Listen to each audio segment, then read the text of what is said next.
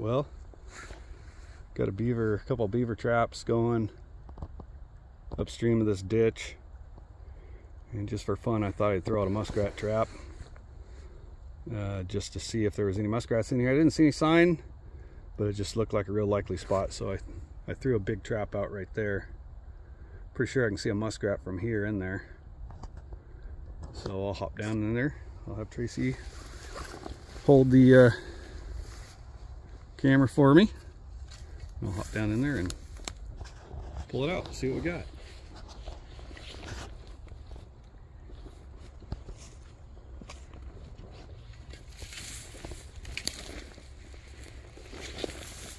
Careful.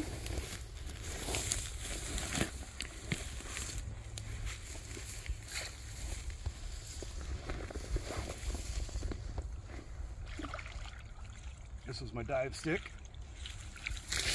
Use that again later, I think.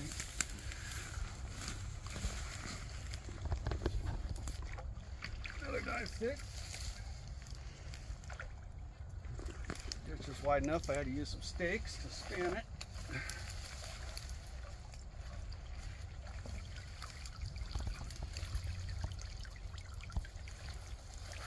Stacked, uh, I got the uh, Muskrat Hotel, which is consists of two.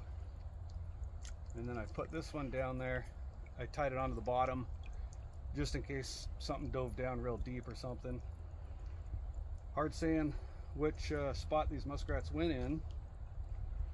Uh, I know they didn't go in the bottom one because there isn't a door connecting, but they could have went in the bottom section here and came up through a little trap door.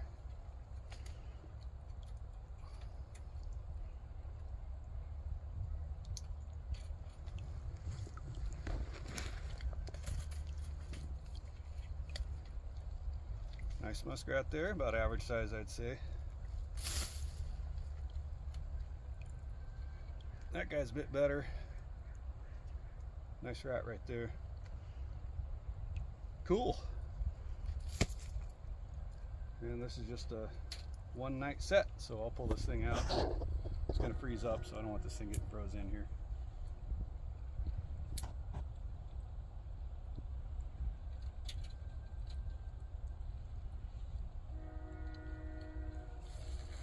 Bon, bon.